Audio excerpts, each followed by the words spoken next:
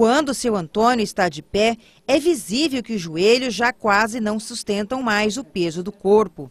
O aposentado de 76 anos se queixa de muitas dores. Uns quatro anos que começou a dor, mas que cravou mesmo o joelho tem uns, uns, uns três anos, né? Que eu venho tratando assim, sem poder trabalhar, sem poder fazer nada. Seu Antônio conta que já trabalhou demais no pesado. Ele atuou no ramo de empresas que fazem asfalto e por diversas vezes teve contato com altas temperaturas. Diz que caiu de caminhões e inclusive tem cicatriz no joelho que mais o incomoda.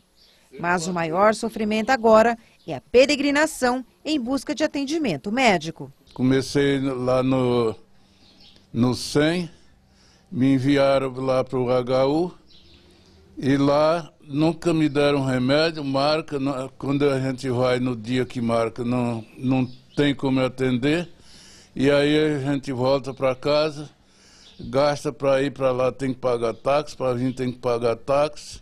Esta guia é do Hospital Universitário para fazer um eletrocardiograma, raio-x do tórax e cirurgia nos joelhos. Mas por problemas em um dos aparelhos e falta de material, já passa de quatro anos à espera.